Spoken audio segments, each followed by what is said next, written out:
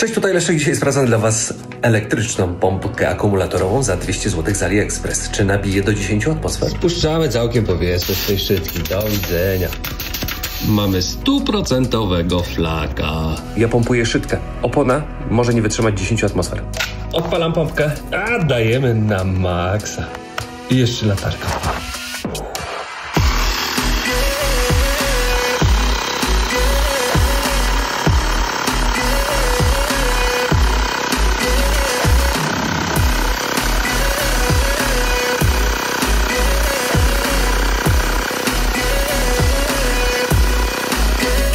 Dała radę, ale za ten czas zdążyłem zjeść obiad. Dobre rozwiązanie, ale chyba tylko dla tych, którzy pompują do naprawdę wysokich ciśnień i nie chcą wozić zbyt dużej pompki ze sobą w samochodzie na zawody. W przypadku zwykłej opony nie trzeba przez cały czas tego trzymać i głównie z tego względu to kupiłem. Tam się pompuje, a tu się przebieram na rower.